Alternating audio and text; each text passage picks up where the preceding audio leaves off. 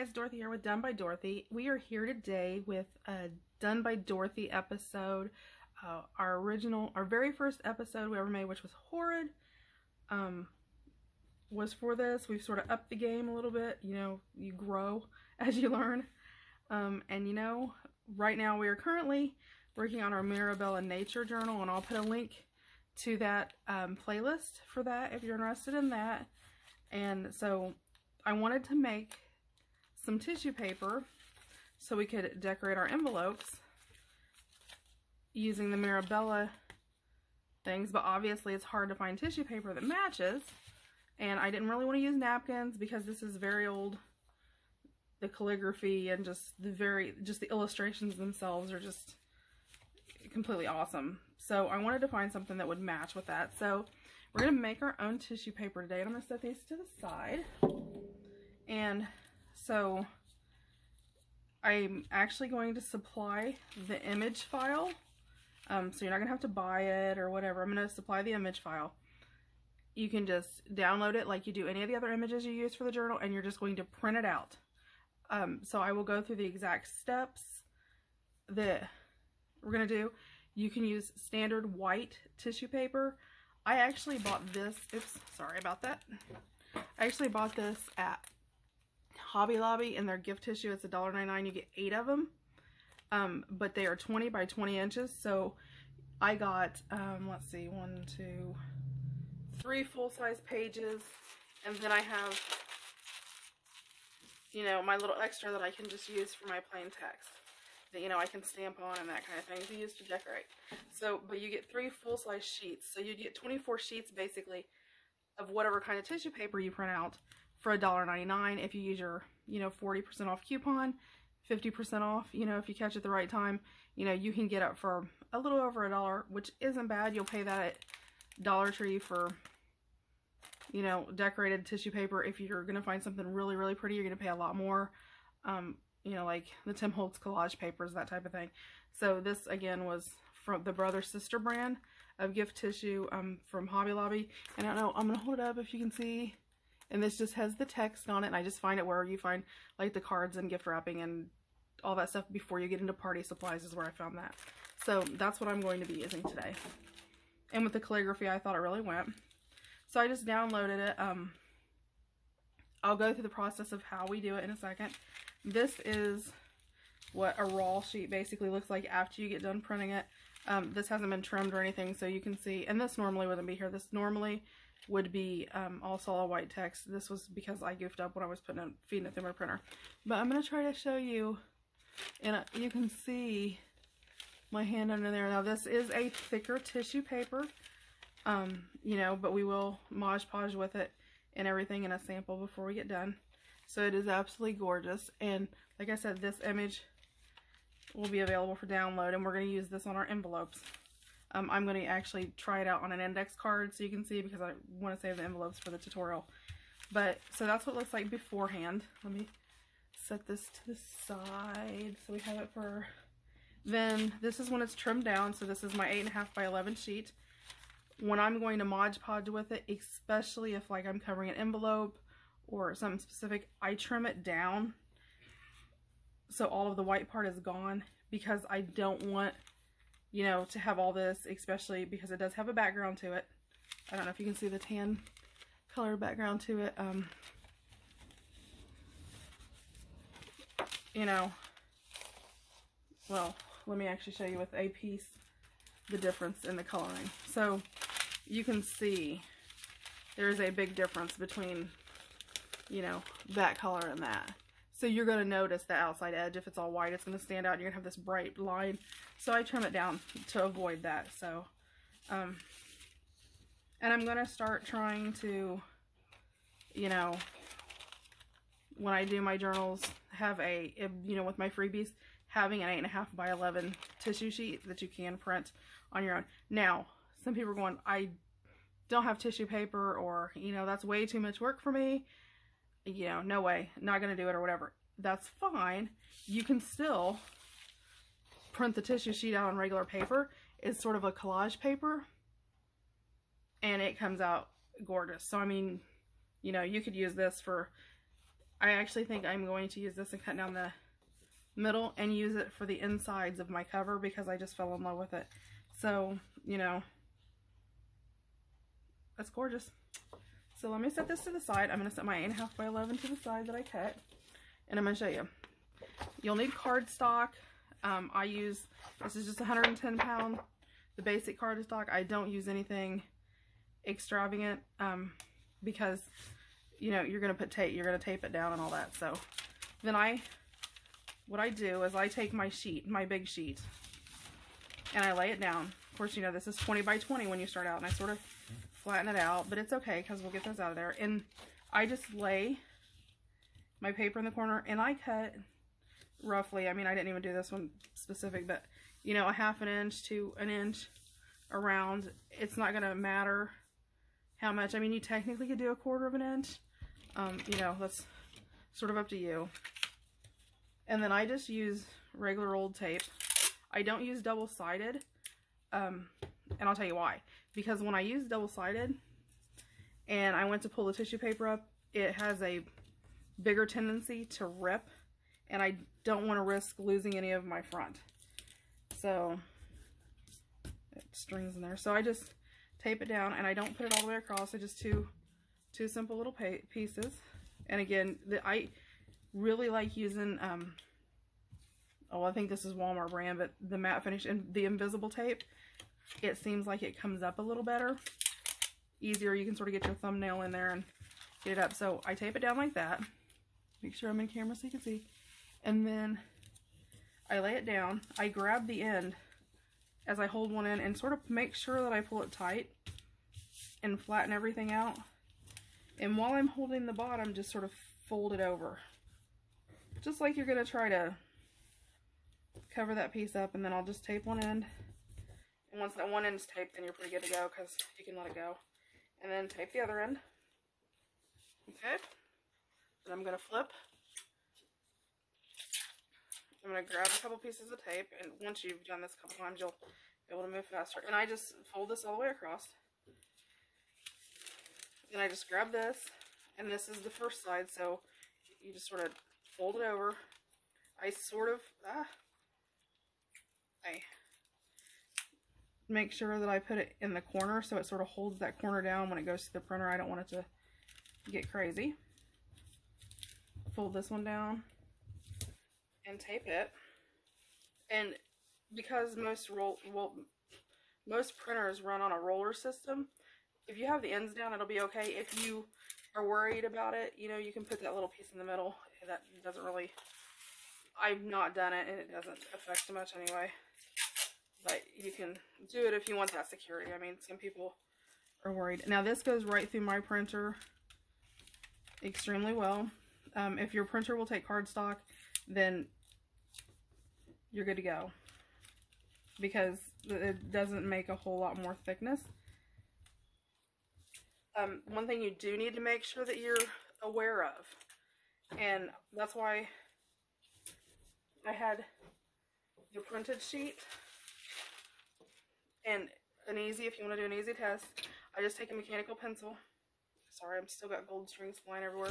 I just take a mechanical pencil, and I'll take a piece of cardstock, and I'll mark it in the corner with a dot. Just like that. Just a teeny tiny little dot. I'll put it in my printer the way I always load my paper. Print it out. So I know this dot, when I put it in my printer, I make sure the dot is facing up. So like, you know, if I open my paper tray, I just slide it in like this with the dot facing up and I print. I want to make sure I know what side that I'm going to print on. Some people's printers will load straight in and it'll print on the front because it'll flip it around and bring it back. Some people roll over. You know, I'm one that I have to put everything upside down and it rolls through a roller like this as it prints. So, you know, watch where your little dot is. If it comes out, you know, and it printed on the dot, then you know you need to put your paper face up. If it prints and it's not on the side with the dot, then you know you need to turn your paper face down. So like mine, I would load into the printer like this. Okay, so I'm going to pause you really fast. I'm going to go run this through my printer so you can actually see it straight out of the printer. And you know, if it's a little wrinkled, it doesn't matter because It's a collage tissue paper. It will cover fine. I'll be right back. I'll run this through my printer and show you. Okay, we are back and I finished printing out on the tissue paper.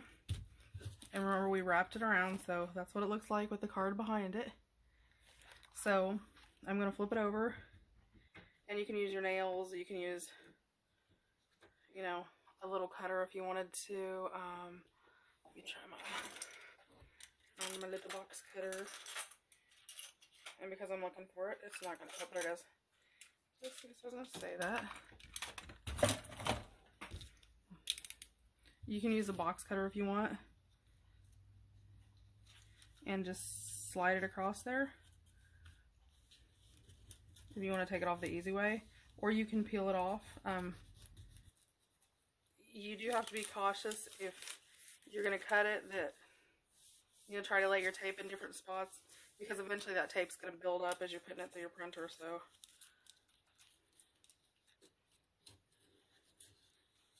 So um, most of the time, you can even take your cutter and just sort of bump up the corner.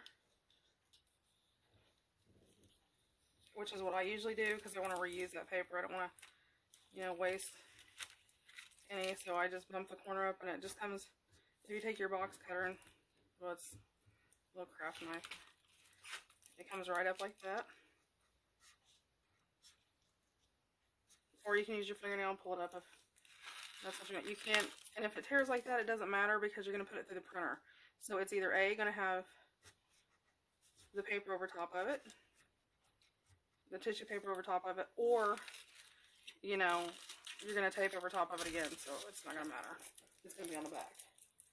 So let me...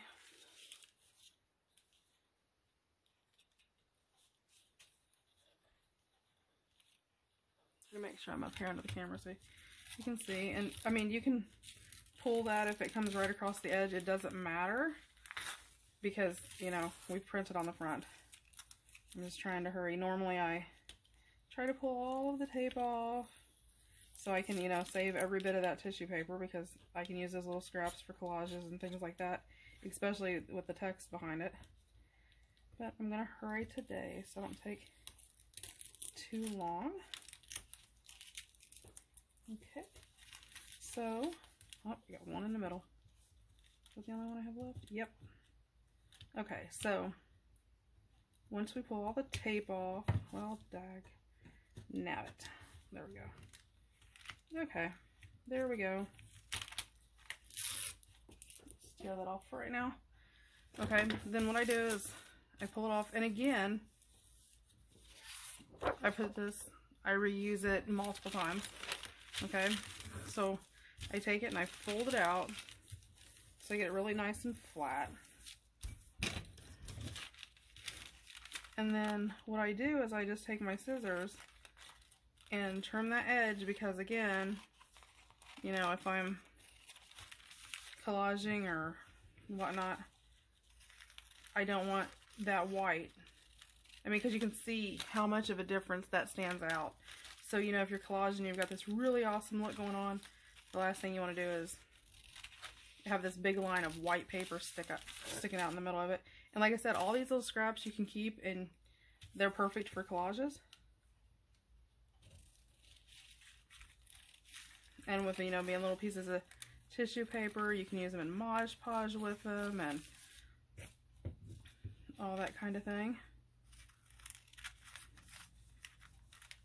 So I just trim around it.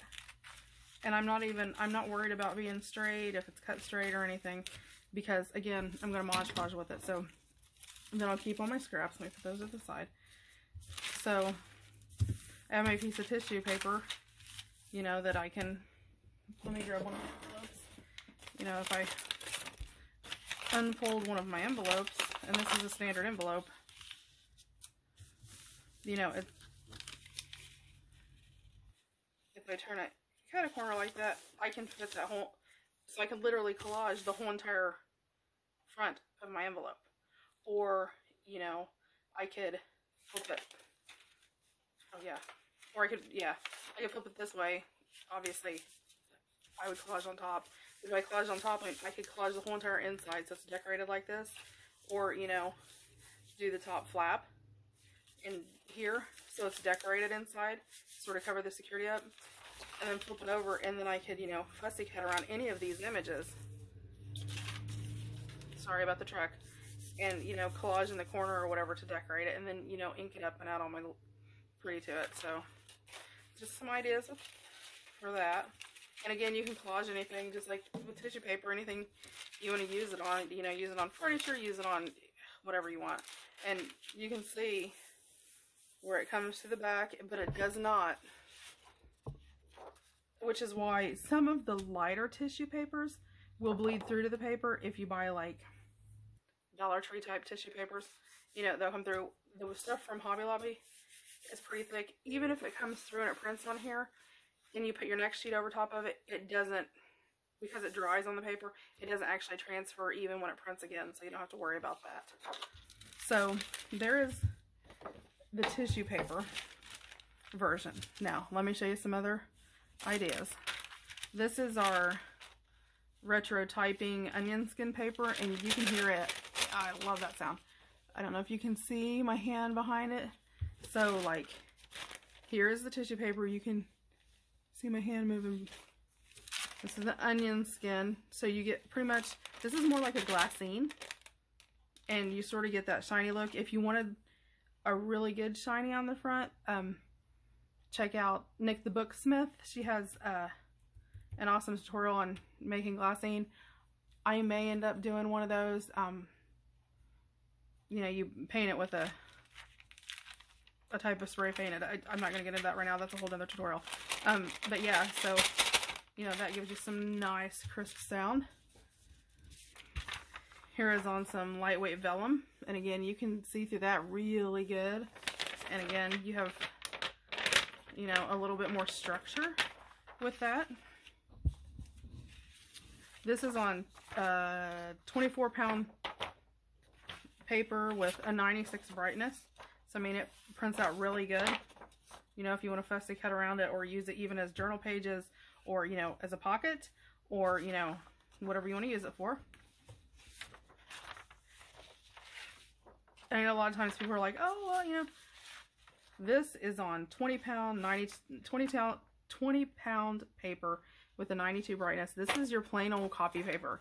I mean, this is like, from Walmart, it's like, you know, VL generic paper like the most generic. And even that printed out really good. And then of course we have our cardstock. So, you know, the copy paper prints out just about like the cardstock, just not as thick. So you have, you know, a lighter weight to use where you have a heavy weight. The 24 pound is, you know, you get the thick, the thickness. So it does, you know, look a little different from the regular copy paper. I mean, I'll hold them up side by side. Let me see if side by side, I mean, you can tell the difference, you know, that it does look a little different. And again, you know, the cardstock, it does have a difference. It's, you know, more glossier.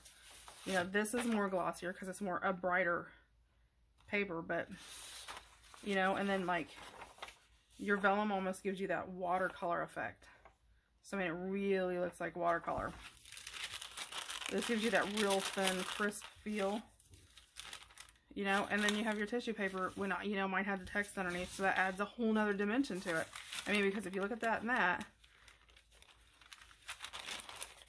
that text tissue paper really adds a second dimension to it and, you know, sort of brings it to life. So, we hope you enjoyed this tutorial.